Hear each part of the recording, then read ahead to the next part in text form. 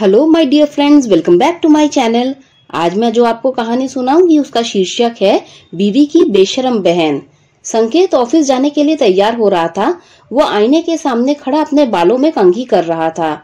उसकी पत्नी दीक्षा किचन में गर्मा गर्म पराठे बना रही थी। तभी दीक्षा का मोबाइल उसके बिस्तर पर रखा हुआ था, वो बज उठता है। संकेत ने फ़ोन देखा तो उस पर डिम्पल कॉलिंग लिखा आ रहा था। उसने गंदा सा मुँह बनाया।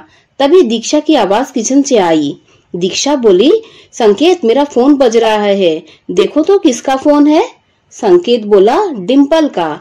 दीक्षा बोली तो उठाओ ना। देखो ना क्या बोल रही है। लेकिन संकेत ने डिम्पल का कॉल पिक नहीं किया। इसी बीच कॉल डिस्कनेक्ट हो गया। तभी एक बार डिम्पल का कॉल आया। संकेत ने मोबाइल उठाया और लेकर दीक्षा के पास ले गया। संकेत बोला, लो, तुम ही बात कर लो ना। दीक्षा बोली तुम भी संकेत हद करते हो। डिम्पल तुम्हारी साली है। तुम उससे ऐसे बिदकते हो जैसे कि वो तुम्हें खा जाएगी। यह कहकर दीक्षा ने फ़ोन उठाया। डिम्पल बोली, ओए, कहाँ थी तू? इतनी देर से फ़ोन नहीं उठाया? सुबह ही जीजाजी के साथ रोमांस कर रही थी क्या?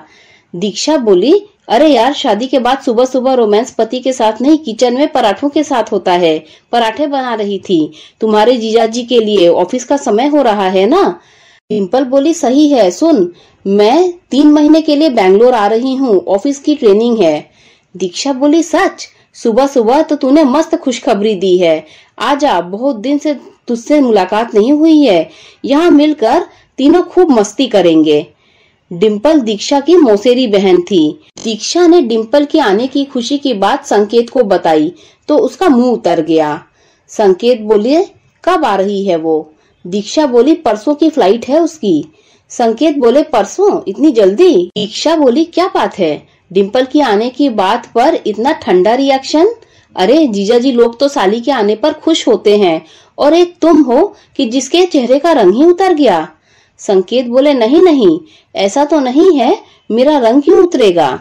संकेत डिम्पल के आने की बात सुनकर नर्वस हो गया। जब वो कार ड्राइव करके अपने ऑफ़िस जा रहा था तो उसे डिम्पल के साथ अपनी मुलाकात याद आ गई। दो साल पहले की बात है। संकेत दूल्हे की ड्रेस में बहुत ही हैंडसम लग रहा था।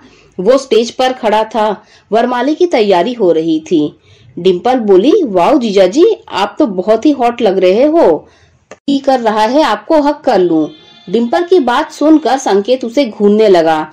तो डिम्पल ने हँसते हुए कहा क्या बात है? ऐसे क्यों घूर रहे हैं? कुछ करने का इरादा है क्या? संकेत तब भी डिम्पल को घूर रहा था। तभी डिम्पल ज़ोर ज़ोर से खिलखिलाते हुए हँसते हुए बोली अरे जीजा जी आप इतनी टेंशन क्यों ले रहे हैं? मैं कोई गैर नहीं आपकी आधी घर वाली आई I मीन mean, आपकी साली हूँ। डिम्पल नाम है मेरा। वरमाला के स्टेज पर यही थी डिम्पल के साथ उसकी पहली मुलाकात। बहरहाल संकेत और दीक्षा की शादी हो गई। जब वो दीक्षा को विदा करके ले जाने लगा तो डिम्पल उसके पास आई और उसके कानों में कहा, क्यों जीजा जी, रात को सोने दोगे या नहीं? डिम्पल की बात सुनकर संकेत झेप गया। उस मुलाकात में संकेत के मन में डिम्पल की एक अलग छवि बना दी थी। फिर उन दोनों की कभी मुलाकात तो नहीं हुई, लेकिन एक दो बार फ़ोन पर बात हुई। डिम्पल बोली, क्यों जिया जी, आप तो कभी फ़ोन ही नहीं करते? अपनी हॉट प्यारी साली को संकेत बोला, जी, करूँगा करूँगा। डिम्पल बोली, कब? रात को? पर रात को तो आप कुछ और कर रहे होगे ना? फिर डिम्पल खिलखिलाकर हंसती है। संकेत उस दिन ऑफ़िस में भी अपसेट रहा। खैर डिम्पल के आने का दिन आ गया। संकेत बोला, तुम भी चलते ना एयरपोर्ट डिम्पल को ले आने के लिए? दीक्षा बोली, अरे संकेत, दिख नहीं रहा है, कितना काम पड़ा है।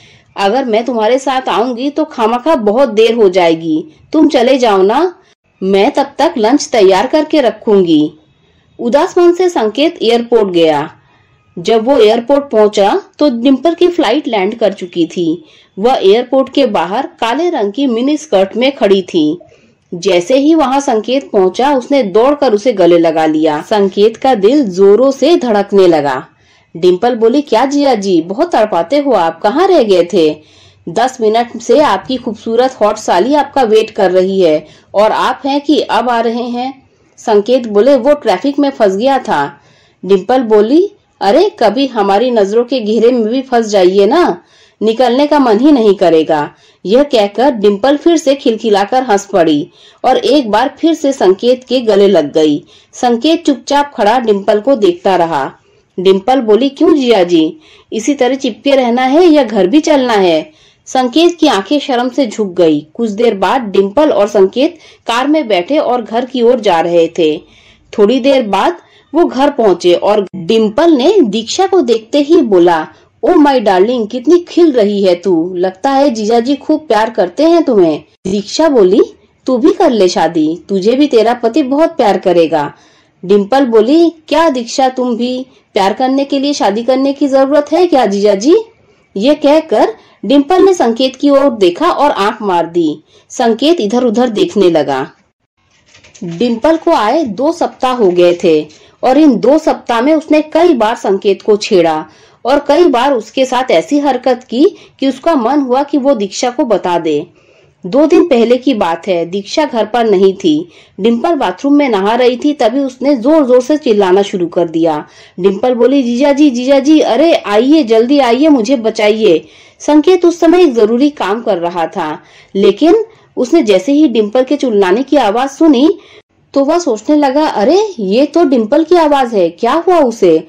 वह भागा भागा बाथरूम की ओर गया। डिम्पल अब भी चिल्ला रही थी। डिम्पल बोली जीजा जी जीजा जी बचाइए बचाइए। डिम्पल ने बाथरूम का दरवाज़ा खोला, उसके कपड़े पूरी तरह गीले थे। वो एक बार फिर से संकेत के गले लग गई। संकेत बोला, क्या हुआ? तुम चिल्ला क्यों रही हो? डिम्पल बोली जीजा जी जीजा जी अभी यहाँ पर एक छिपकली थी। वह मुझे घूर रही थी। संकेत बोला, छिपकली? यहाँ छिपकली कैसे आ गई? डिम्पल बोली, वो तो मुझे पता नहीं, शायद मुझे नहाते देखने का उसका मन हो। ये कहकर वो एक बार फिर हंस पड़ी। इस बार संकेत को उसकी इस हरकत पर बहुत गुस्सा आया। संकेत बोला डिम्पल देखो, ये सब मुझे अच्छा नहीं लगता। प्लीज़ ये सब मत किया करो। अगर दीक्षा को पता लगेगा तो वो मेरे बारे में क्या सोचेगी? डिम्पल बोली, दीक्षा को बताएगा कौन जीजा जी? डिम्पल ने यह कहकर एक बार फिर अपनी आँख मारी। संकेत वहाँ से चला गया। लेकिन डिम्पल की इन हरकतों के कारण संकेत बहुत डरा डरा और टेंशन में रहने लगा। एक दिन जब दीक्षा ने उससे इसका कारण पूछा तो संकेत ने कहा, दीक्षा डिम्पल का बिहेवियर मुझे एकदम ठीक नहीं लगता। वो अजीब सा मज़ाक करती रहती है। मैं अनकंफर्टेबल फील करता हूँ। दीक्षा बोली, अरे संकेत तुम भी ना? अरे वो साली है तुम्हारी। वो नहीं करेगी तो तुमसे और कौन मज़ाक करेगा? एक बात और, वो हमेशा से ही ऐसी है। उसकी बातों पर इस तरह टेंस हो जाओगे तो फिर क्या होगा?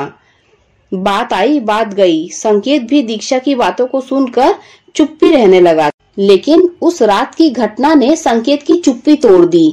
असल में कुछ दिनों से दीक्षा की तबीयत ठीक नहीं चल रही थी।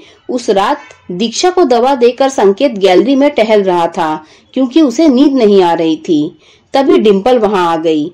डिम्पल बोली, क्या हुआ जीजा जी? नींद नहीं आ रही क्या? संकेत बोला हाँ सिर में थोड़ा दर्द है। डिम्पल बोली, अरे, मुझे क्यों नहीं बोला? रुकिए, मैं अभी आपको बाम लगा देती हूँ। संकेत बोला, अरे, नहीं नहीं, मुझे इसकी ज़रूरत नहीं है। लेकिन डिम्पल कहाँ मानने वाली थी? वह बाम की शीशी ले आई और संकेत को ज़बरदस्ती बैठाकर उसके सिर में बाम लगाने लगी। बाम लगाते लगाते वह संकेत के करीब आ रही थी और वो जानबूझकर अपनी गर्म साँसें संकेत के ऊपर छोड़ रही थी। संकेत को अनकंफर्टेबल लग रहा था, लेकिन वो वही हरकत किए जा रही थी। तो संकेत का गुस्सा फूट पड़ा। संकेत बोला इनफ डिम्पल प्लीज़ ये मत करो। मैंने तुम्हें कितनी बार कहा है, ये सब मुझे पसंद नहीं है। देखो, किसी भी रिश्ते की एक सीमा होती है, उसे मत लांघो। माना कि जीजा और साली के बीच में मज़ाक का रिश्ता होता है, लेकिन मज़ाक का ये मतलब नहीं कि फीलिंग्स का मज़ाक बन जाए। मेरी वाइफ बीमार है। पिछले कई दिनों से मैं ठीक से सो नहीं पाया हूँ। हर वक्त सोचता हूँ कि दीक्षा जल्दी से ठीक हो जाए। और तुम हो कि संकेत ने इतनी ज़ोर से कहा कि दीक्षा बाहर आ गई। संकेत बोले, अरे दीक्षा, तुम क्यों बाहर आ गई? दीक्षा बोली आई एम सॉरी संकेत, तुमने मुझे पहले भी बोला था, लेकिन मैंने ही सीरियसली नहीं लिया। डिम्पल संकेत सही कह रहे हैं। मज़ाक के रिश्ते की आड़ में कुछ भी करने की छूट नहीं दी जा सकती। आई एम सॉरी डिम्पल लेकिन तुम हम दोनों को अकेला छोड़ दो और खुशी खुशी रहने दो। हालाँकि डिम्पल को भी अपनी गलती का एहसास हो गया था उसने उन लोगों से माफ़ी मांगी और दूसरे ही दिन चली गई वहाँ से। दोस्तों, अगर आपको ये कहानी अच्छी लगी हो तो लाइक कर दीजिए, मेरे चैनल को सब्सक्राइब कर दीजिए। जब आप मेरे चैनल को सब्सक्राइब करें तो बेल का आइकन भी प्रेस कर दीजिए, जिससे मेरी आने वाली सारी कहानियाँ आप तक सबसे पहले पहुँच जाएगी। Thanks for listening